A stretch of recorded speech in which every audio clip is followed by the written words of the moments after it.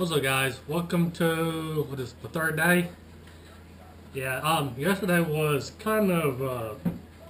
I don't know. It's just an off day. Um.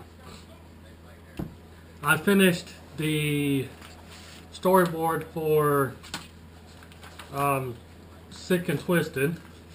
I ordered pretty much everything that was left I needed to order. There's a couple things I still need to buy, but overall, that's done.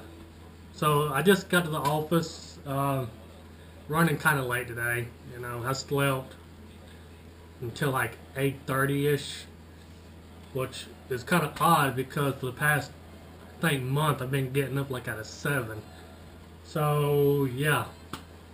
I'm going to boot the computer up. I've got my TV going for some background noise. Uh, and some inspiration, I guess. Alright, so today I'm just probably going to work on a new script. Um, well, it really ain't new. It's one that I had started.